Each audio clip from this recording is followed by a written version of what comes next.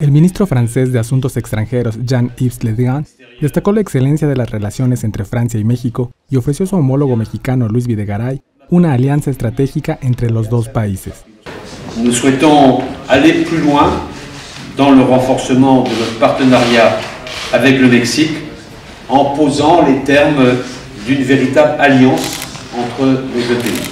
La relación entre México y Francia sigue creciendo, se sigue fortaleciendo cada vez somos más cercanos y esto nos lleva de una manera muy natural a que eh, la relación se consolida como una auténtica alianza.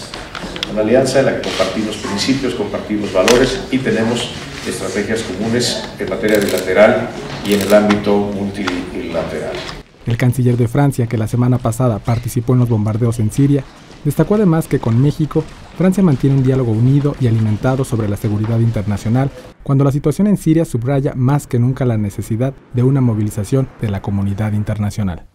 Con información e imágenes de David del Río, corresponsal en Francia, Notimex.